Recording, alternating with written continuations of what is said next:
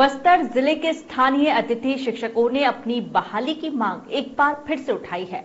अपनी मांगों को लेकर जगदलपुर में कलेक्टर से मुलाकात करने पहुँचे, वहीं स्थानीय अतिथि शिक्षकों का कहना है कि शिक्षा विभाग उनका उपयोग सत्र के आखिरी महीनों में करता है, जबकि उन्हें पूरे सत्र में काम दिया जाना चाहिए। साथ ही बता दें कि इससे पूर्व भी स्थानीय अतिथि शिक्षकों ने नौ सूत्रीय मांगों को लेकर दो महीने से अधिक दिन तक धरना प्रदर्शन किया था, लेकिन जिला प्रशासन ने उनकी मांगे पूरी नहीं की। एक तरफ़ ज़िले के साथ ही प्रदेश भर में शासकीय शिक्षक, डीए और एचआरए की मांग करते हुए अनिश्चितकालीन हड़ताल पर पहुँच गए हैं।